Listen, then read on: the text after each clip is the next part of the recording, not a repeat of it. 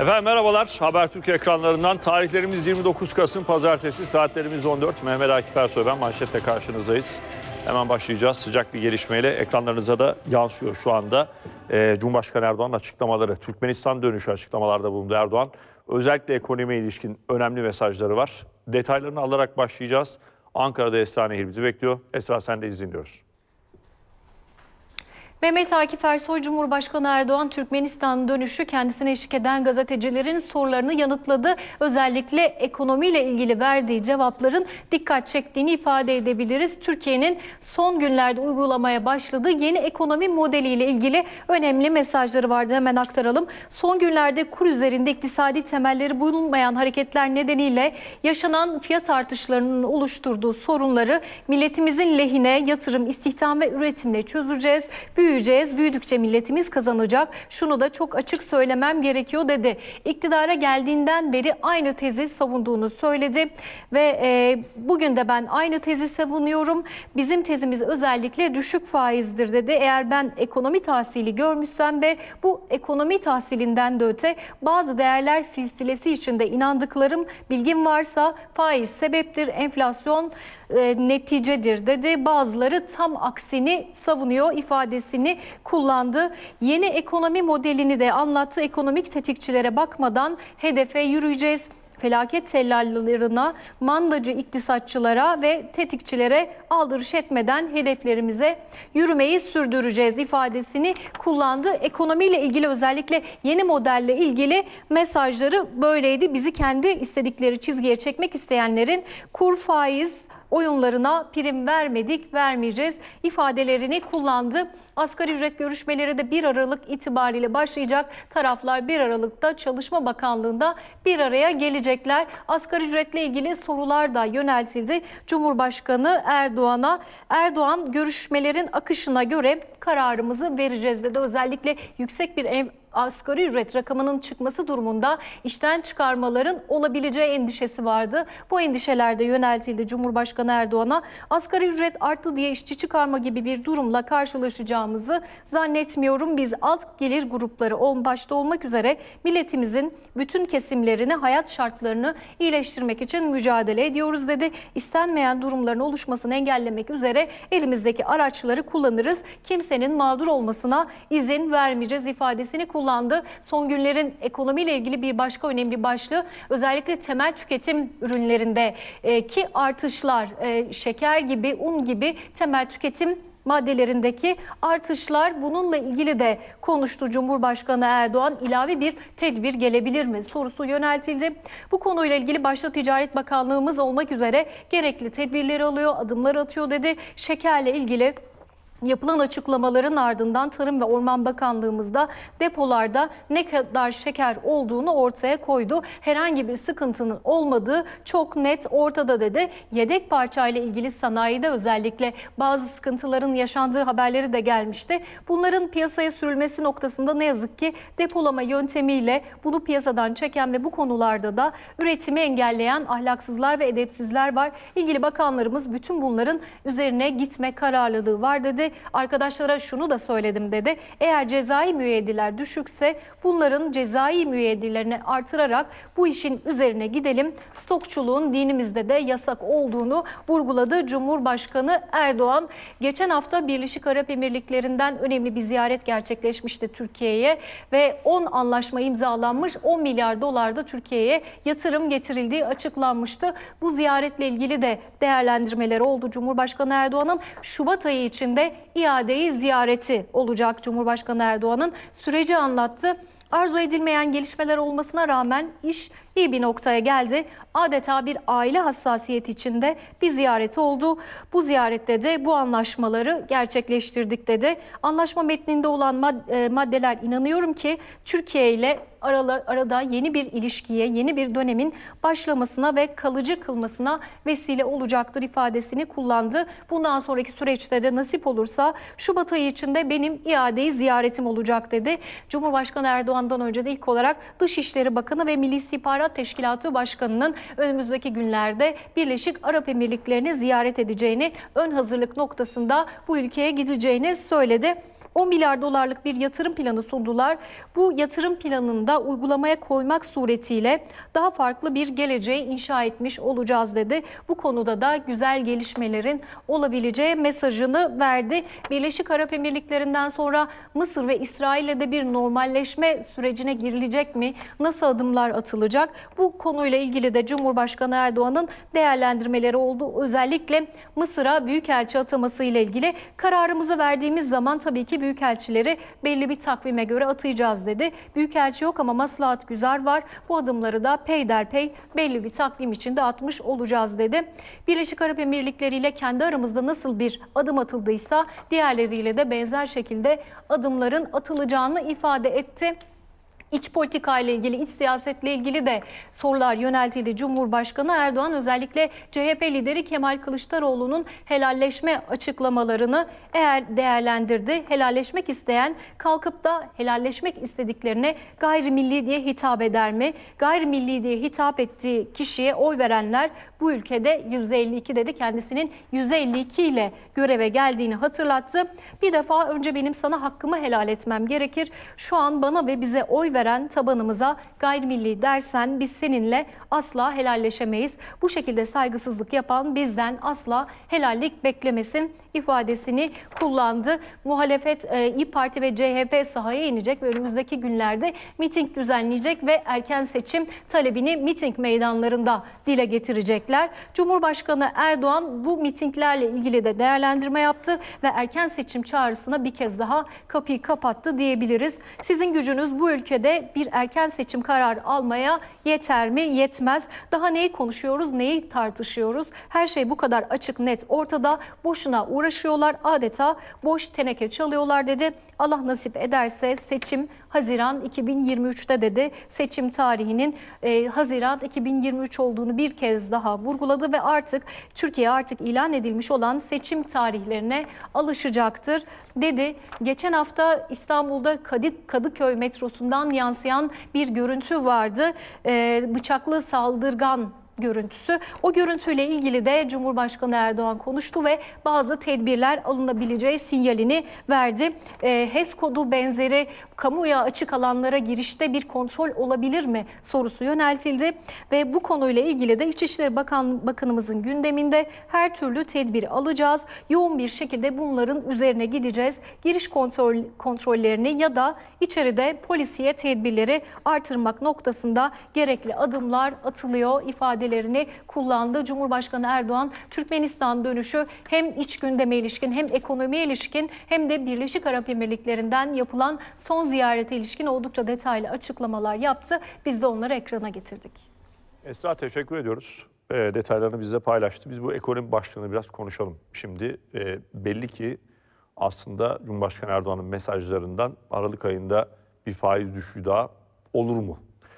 Belli ki olur mu diye bitirin. Belli ki olacak gibi görünüyor diyecektim ama olur mu diye soracağım. Marmara Üniversitesi öğretim üyesi Profesör Doktor Burak Arzo ve Pir Reis Üniversitesi öğretim üyesi Profesör Doktor Erhan Aslanoğlu konuklarım. Hoş geldiniz. Ee, Erhan Aslanoğlu birazdan katılacaklarmış yayınımıza. Ee, Sayın Arzo hoş, Hoş- geldiniz. Hoş bulduk. İyi yayınlar diliyorum. Sağ olun. Yeni rota netleşti gibi görünüyor. Ee, faiz indirimi de sürecek herhalde. Öyle mi anladınız? Ee, gözüküyor. Yani Sayın Cumhurbaşkanı'nın yaptığı açıklamalarda aslında hani piyasayı e, şaşırtacak bir husus yok. Zaten faize sürekli olarak karşı olduğunu ifade ediyor. Bir kez daha vurgulamış. Ee, yani bu e, yeni değil. Diğer taraftan faiz indirimleri konusu zaten hem Merkez Bankası'nın iletişim metninde yani para politikası kurulu karar metninde de e, aşağı yukarı aynı şeyler anlaşılıyordu ama daha sonraki söylemlerde de bu ortaya çıktı. E, burada e, neticede sizin de dediğiniz gibi anlaşılan çok net ki e, faiz indirimleri devam edecek ve e, kurun seviyesi de e, rahatsız edici bir noktada değil hükümet açısından. O nedenle e, buradan aynı hızla devam edeceğiz gibi gözüküyor. Peki Cumhurbaşkanı'nın e, açıklamasında işte fiyat artışını yatırım, üretim ve istihdamla çözeceğiz ifadesi var. Yüksek kur düşük faiz denklemi bizi nereye götürür biz merak ediyoruz. Beraberinde ekonomik tetikçiler dedi, mandacı iktisatçılar dedi. E, bu yeni ekonomi modeli. E, niye yeni? Niye şimdi? Hep konuşuyoruz. E, yani hakikaten ıskalanan bir şey olabilir mi diye. böyle devam ettiğimiz takdirde bu da yeni modelle ya da yeni bir şey denediğimiz takdirde iyi senaryo kötü senaryo nedir? Ee, aslında belki çok yeni demek doğru değil çünkü daha evvel de denendi bu. Ee, Sayın Berat Albayrak döneminde de denendi. Ee, o dönemde farklı bir unsurla denendi. Ee, o zaman e, özellikle kur belli bir seviyede tutulmaya çalışıldı ve o kurun seviyesiyle beraber faizler yapay yolla indirildi. Ee, o e, süreç zarfında hatırla, hatırlayacağız hepimiz. Özellikle Merkez Bankası'ndan kamu bankalarına, kamu bankaları üzerinden de bir döviz satışı gerçekleşiyordu. Kuru belirli seviyede tutmak için. Daha sonra şok bir faiz artışıyla tekrar başlanılan noktanın daha üstüne gelindi. Şimdi e, yeni model derken aslında e, şuna bakmak lazım. Neyi düşünüyorlar? Bunu ifade ettiler zaten. İhracat artacak ve bu ihracat artışıyla beraber Türkiye döviz bolluğuna kavuşacak. Tabii bu arada özellikle turizm gelirlerinin de artması bekleniyor. E, bütün bunlarla beraber e, Türkiye'nin özellikle ithalatı düşecek ve ithalatın düşmesiyle beraber e, bu süreç daha da hızlanacak diye düşünülüyor. Tam da bugün dış ticaret verileri geldi. Aslında biraz belki onun üzerinden rakamlarla konuşmak daha Buyurun. e, çekici olabilir, daha e, anlamlı olabilir. Şimdi bizim e, özellikle Ekim, Ocak dönemine baktığımızda toplam ihracatımızın içerisinde imalat sektörünün payı yaklaşık %95, 94.6. Yani ağırlıkla imalat sektörü üzerinden ihracat gerçekleştiriyoruz. Peki ne ihraç ediyoruz diye baktığımızda özellikle bence bu da çok önemli. Çünkü e, adını koymak açısından yani ne yaptığımızın ne ettiğimizin adını koymak açısından önemli. Burada e, ihraç ettiğimiz ürünlere baktığımızda e, yüksek teknoloji ürünlerin payı mesela geçen yıla göre azalmış. Geçen yıl toplam 100 birimlik ihracat paketinin içerisinde 3,5 %3,5'luk yüksek teknoloji ürünler varken şimdi 2.7'ye düşmüş. Ocak-Ekim dönemine komple baktığımızda 2.9. Ama buna karşılık orta düşük teknoloji ve düşük teknoloji ürünlerin payı da sırasıyla 30.7 ile 32.7 yani %63 e, civarında 64 diyelim buna e, kabaca orta düşük teknoloji ve düşük teknoloji ürün ihraç ediyoruz. Ama ne ithal ediyoruz diye baktığımızda durum bunun tam tersi. Yüksek teknoloji ürünle orta yüksek teknoloji ürünler Türkiye'de yaklaşık olarak %57 civarında. Yani özetle düşük teknoloji ihraç ediyoruz, yüksek teknoloji ithal ediyoruz. Şimdi bu bir kere e, bizim açımızdan baktığımızda çok sürdürülebilir bir nokta değil. Peki bir şey daha söyleyeyim yani çok uzatmadan e, bu da bence önemli bir nokta. Özellikle imalat sanayimize baktığımızda mesela biz e, bu kur artışından neyi faydalandırmaya çalışıyoruz? İhracatımız artacak ve bu ihracatla beraber e, Türkiye'ye döviz bolluğu olacak diyoruz. Peki ithalatımızda ağırlık hangi maddelerde? Şimdi hemen söylüyorum. Sermaye malı yani yatırım malı yaklaşık %13.4, ham madde %76.9 yani yaklaşık %90.1 civarındaki bir yani toplam ithalat paketinin içerisinde 90.1'i yatırım malı ve ara maldan oluşuyor. Yani ham maddeden oluşuyor. Dolayısıyla uzun dönemde kur arttıkça ham madde fiyatları artacak. Ham madde fiyatlarıyla beraber ihracattaki o düşünülen rekabet avantajı ortadan kalkabilecek. Hatta kurun bu kadar yüksek artması ithalatı tamamen de kesebilir. O zaman da ihracatı yapamaz duruma bile gelebiliriz. Çünkü ihracat tamamıyla neredeyse işte e, aramalı ham maddeye baktığımız zaman e, özellikle ithalata dayanıyor. Bu, bu bence en tehlikeli nokta. Onun için göreceğiz e, başarılı olabilir mi? Daha şeye hiç girmedim. Yani e, özellikle 24 Kasım'dan beri bu bu yana ortaya çıkan işte e, delta varyantından sonra omikron varyantı e, dünyada tekrar kapamaların olduğu bir dönem. Bunun yaza sirayeti ya da Mart Nisan'daki e, bizim turizm gelirlerimizi nasıl etkileyeceği konusu daha hiç girmediğim bir konu. Sadece ticaret üzerinden, mal ticareti üzerinden konuştuğumu ifade etmek istiyorum. Peki Sayın Arzova teşekkürler. Ee, İnşallah öyle bir şey olmasın ya. O ekonomiyle birlikte artık sağlığımızı, psikolojimizi, her şeyimizi alt üst eden bir Evet. durum haline geldi. Sayın Aslanoğlu katılır mısınız? Eklemek istedikleriniz, eleştiriniz var mı? Bu arada Sayın Erdoğan'ın açıklamaları üzerinden baktığımızda faiz indirimi tekrar e, gündemimizde olacak gibi Aralık ayında. Nedir beklentiniz? Onu da sormuş olayım. Bu model işe yarar bir model midir? Neden şimdi tercih edildi mesela? 10 yıl önce tercih edilmedi, 15 yıl önce tercih edilmedi, şimdi tercih edildi ya da öyle mi? Daha önce de tercih edilmişti, uygulanmadı mı? Ee, ben de kaçırmış olabilirim. Buyurun. Teşekkürler tekrar. Ee, Şimdi e, Sayın Cumhurbaşkanı'nın açıklamalarından zaten geçen hafta da gelmişti. şunu görüyoruz. Yani bu politikada kararlı bir şekilde ilerlenecek. Dolayısıyla hani bizim iktisatçı olarak e, bunun sonuçlarını tartışmamız, hani neler olabilir bunu sanıyorum öngörmeye devam etmemiz gerekecek.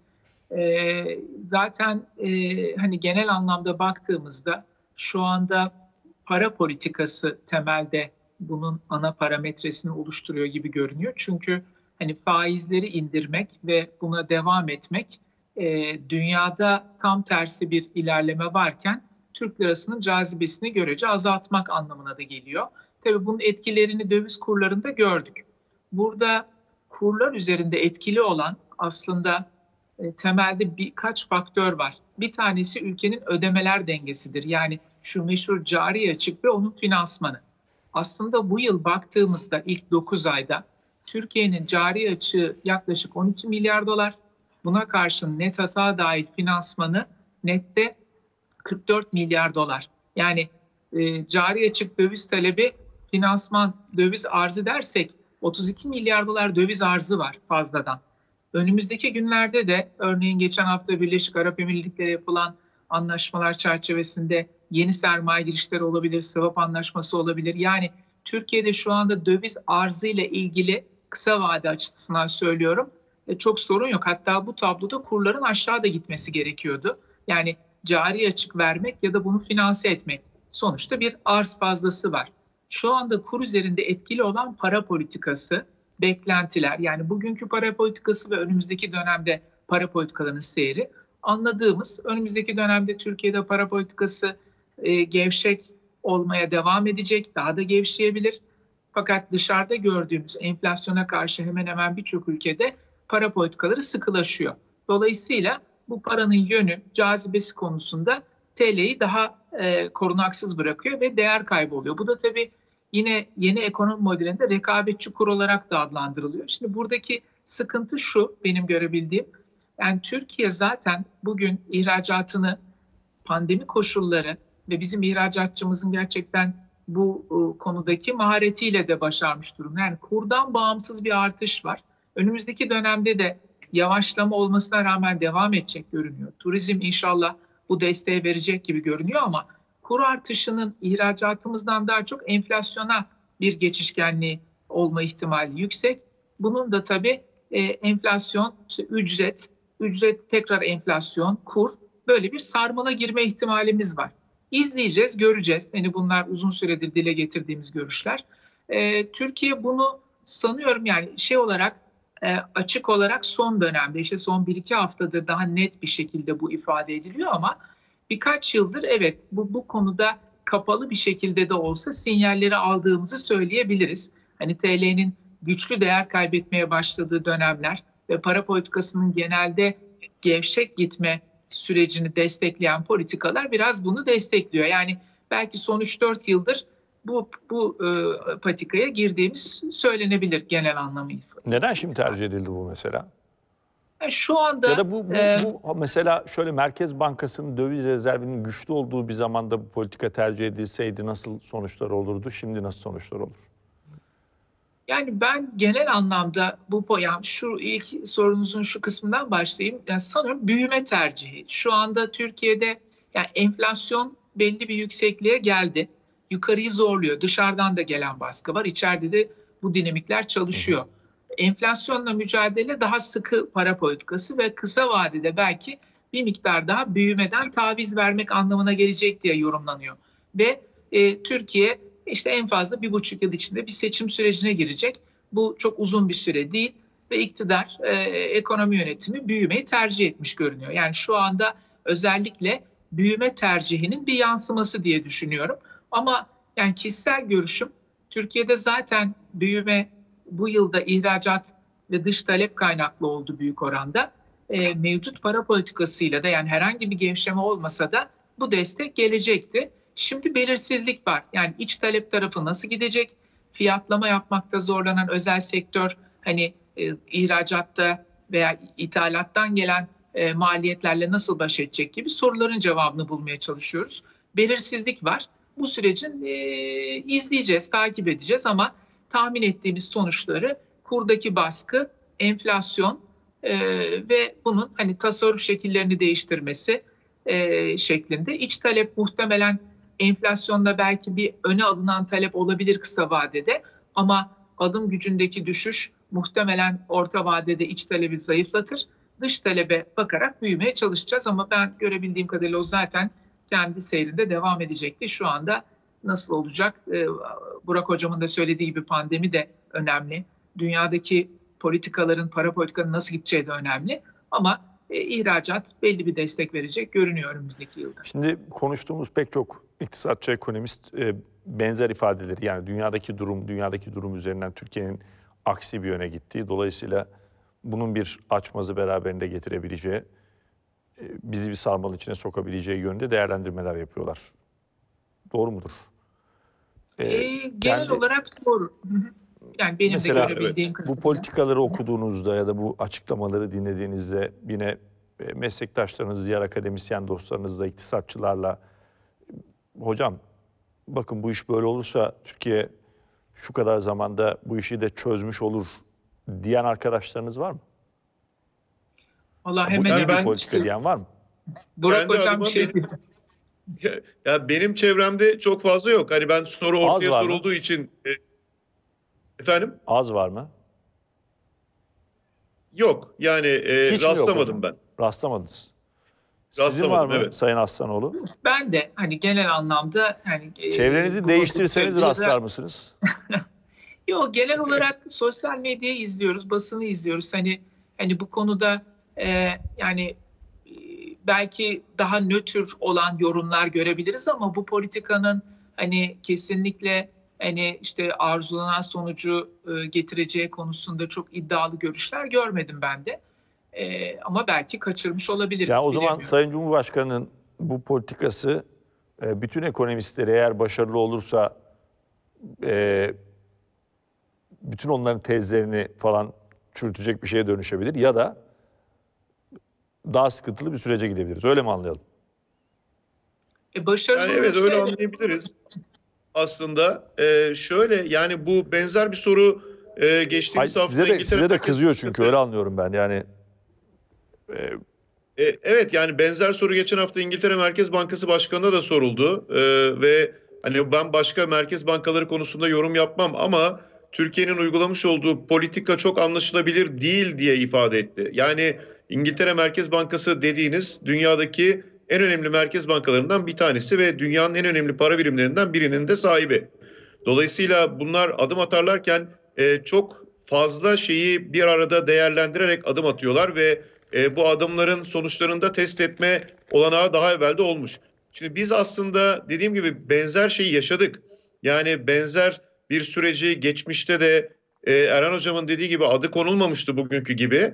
Ama e, hemen hemen aynı süreçlerden geçtik. O günden tek fark olan o gün hem e, faizler aşağı çekilmeye çalışılıyordu hem de kur tutulmaya çalışılıyordu. Tabii kuru tutabilmek mümkün değil. Sonuç itibariyle e, bu birçok farklı unsurdan etkileniyor. Ama faizlerin esas belir- belirleyicisi e, enflasyon olduğu için kurdaki artış enflasyonu, enflasyonda kuru tetikler bir sarmalın içerisine girmiştik. Sonra daha e, herkes tarafından anlaşılabilir, ortodoks dediğimiz politikalar uygulanmaya başlanınca bu sefer hem Türkiye'ye yönelik bakışlar farklılaştı, hem Türkiye'ye yönelik olarak gelen sermayede artış gözüktü, hem de e, içeride bir güven oluşmuştu. Dolayısıyla bunu devam ettirebilseydik geçmişte bir önceki Merkez Bankası Başkanı döneminde bugün daha farklı bir kur seviyesini, daha farklı bir enflasyon düzeyini konuşuyor olacaktık ve önümüzdeki dönemlere daha farklı bakacaktık. Şimdi bu denediğimiz şeyin sonucunun ne olabileceğini e, az çok öngörebiliyoruz. Ama dediğiniz gibi eğer bizler yanılırsak ki ben yanılmayı çok isterim bu arada onu da söyleyeyim. e, o zaman tabii Türkiye bambaşka bir modelle dünyanın tamamen e, düşünmediği ya da e, göz ardı ettiği diyeyim bir modelle e, bir şeyi başarmış olur ve böylece bir Türk ne mucizesi zaman görürüz yaratabilir. sonucunu? Ne zaman? E, ben bunun ilk 6 ay içerisinde 2022'nin 6 ay içerisinde görüleceğini düşünüyorum. Sonucunu hissedeceğimizi düşünüyorsunuz yani. Evet evet yani zaten şu anda e, çok fazla bir zaman kalmadı. İlk 3 ay çok önemli ama ilk 6 ay içerisinde yani ilk e, yarısında 2022'nin sonuçlarını e, muhtemelen göreceğiz. Olumlu ya da olumsuz. Merkez Bankası'nın döviz rezervleri daha güçlü olsaydı ve bu politika uygulansaydı mesela ya da güçlü olduğu dönemde uygulansaydı daha sağlıklı sonuç verme ihtimali olur muydu?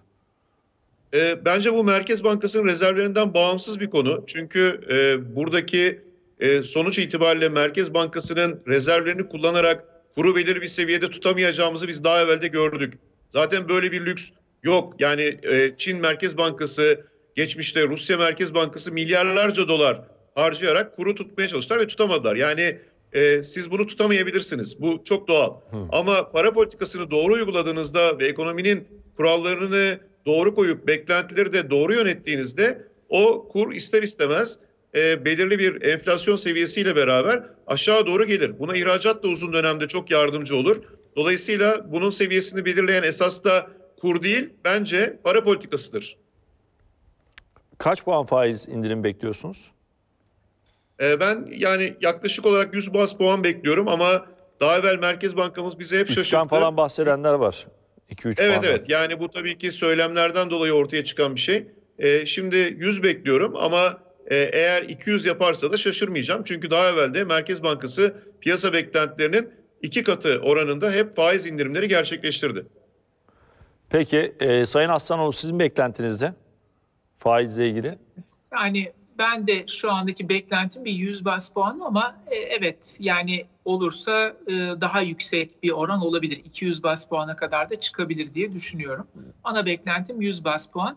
Ben de şunu ilave etmek istiyorum. Buyurun. Yani gerçekten bütün iktisatçılar benim de görüşüm o Türkiye'nin üretimin arttırmasını, istihdamın arttırmasını, yatırımların arttırmasını diliyoruz. Yani sanıyorum hedef konusunda anlaşıyoruz. Ama hani e, yöntem konusunda, politika konusunda farklılık var. Umarım yani başarılı olur. Biz mahcup olmaya e, hazırız bu anlamda ama e, sonuç olarak Türkiye'nin e, daha çok üreten, yatırım yapan, gelirini arttıran bir ülke olması. Yani temel amacımız, isteğimiz hepimizin ideali, hedefi bu. Umarız başarırız bunu. E, bu ekonomi politikaları kurulunda konuşuluyordur değil mi? Cumhurbaşkanlığında. E, konuşuluyordur yani zaten herhalde e, sonuçta. Var mı orada kontakta olduğunuz ekonomist, iktisatçı, arkadaşınız, meslektaşınız, akademisyen e, konuşuyor musunuz mesela? Onların baktığı ve söylediği bir şey var mı? Ya hocam şunu kaçırıyorsunuz, bu böyle değil dediği. Genel olarak yani basından şeyden izliyoruz hani genel yaklaşımları görüyoruz ama benim kendi adıma yani son dönemde öyle bir şeyim yok. Hani öyle bir bilgim yok. E, dolar ne olur? 2 puan inerse. gerçekten e, kendi adıma hani şu anda kur tahmini yapamam, e, yapamayacak durumda olduğumu düşünüyorum. Çünkü kuru belirleyen faktörlerden sadece ödemeler dengesine baksak ben TL'nin değerlenmesini beklerim ama şu anda beklentiler fiyatlanıyor ve risk algısı fiyatlanıyor. Dolayısıyla onu ölçmek çok zor. Normalde düşmesi lazım diyorsunuz aslında doların. Evet yani şu anda Türkiye para politikasında mevcut hani bu süreçte Eylül'den önceki konumunu korusa belki bir miktar hafif sıkılaşma yapsaydı bence Türkiye'de kurlar aşağıya doğru giderdi. Bayağı bir aşağılara gidiyor olurdu ve e, faizler de düşüyor olacaktı. Yani şu andan daha düşük faiz, daha düşük kur e, noktasında olurduk diye düşünüyorum. Ama bu benim beklentim, e, kişisel görüşüm ama kurun nereye gideceği konusunda şu anda bir tahmin yapamıyorum ben. Peki düş, düşer düşük, mi artar mı? düşük Ama faiz. şu anda Buyurun. Buyurun. Yok yok yani şu andaki tabloya baktığımızda hani genel anlamda para politikası daha etkin gibi. Yukarı yönlü riskler daha fazla gibi görünüyor. Ee, düşük faizle bankaların nasıl mevduat toplayıp kredi, kredi yaratabilecekleri konusunda ne söylersiniz? Valla düşük faizde yani bankalar ilan ettiler. Türkiye'de belli bir TL mevduat var. Bankalar da bunu işte krediye dönüştürüyor. Tabii önümüzdeki dönemde tüket e, tasarruf sahiplerinin davranışları değişirse, daha fazla dolarizasyon, döviz ikamesi yönünde adımlar olursa e, bu tabii bankaların kaynak yaratma konusunda sıkıntılarını arttırabilir. E, burada belki Merkez Bankası yeni kanallarla bankalara hani e, fonlaması konusunda destek olabilir. E, daha fazla mevduat yerine Merkez Bankası fonlaması bu kredilerin tahsisinde kullanılabilir. Bankalar bunu farklı biçimlerde yaratmaya çalışırlar. E, yani talep de olması lazım tabii öyle bir kredi için. Ama e, sistem şu anda hani bunu belli e, ölçütler içinde yaratacak potansiyeli barındırıyor görünüyor. Peki hocam bir de bu manipülasyon iddiaları var döviz piyasasında. Devlet Denetleme Kurulumu araştırılması için e, bir çalışma başlattı. İşte Ekim-Kasım ayları incelenecek. O tırmanışın başladığı dönemler incelenecek.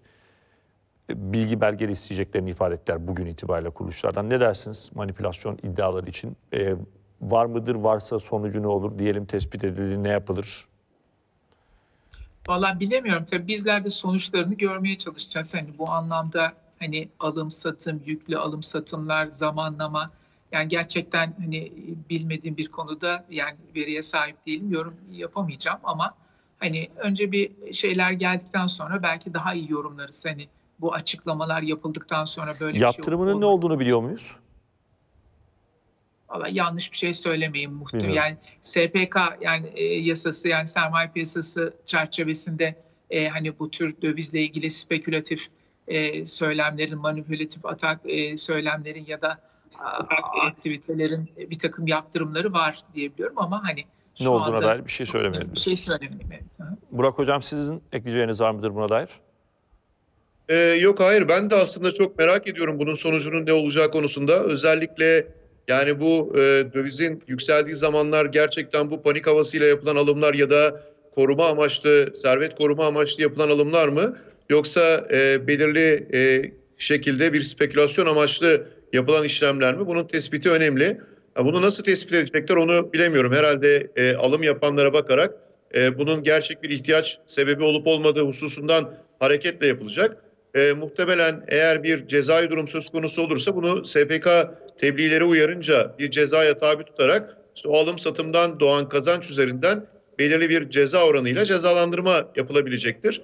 E, ama tabii burada çok hassas olunması gerekiyor. Çünkü bu tür böyle incelemeler sonucunda gerçekten e, bunu ihtiyaç için alan ya da e, gelecekte e, kendi varlığını korumak için alanlar ya da işte kurumsal ödemeleri varsa bu ödemelere yönelik bugünden alım yapanların eğer böyle bir yolla cezalandırılması hususuna gidilirse tabii bu daha e, olumsuz sonuçlar verebilir. E, o nedenle e, bunun hassasiyetle araştırılıp hassasiyetle üzerine durulması gereken bir konu olduğunu düşünüyorum. Peki. Çok teşekkür ederim Burak Arzova. Sağ olun katkılarınız için. Erhan Aslanoğlu çok teşekkürler. Devam edeceğiz manşete. Teşekkürler, iyi yayınlar. Sağ olun.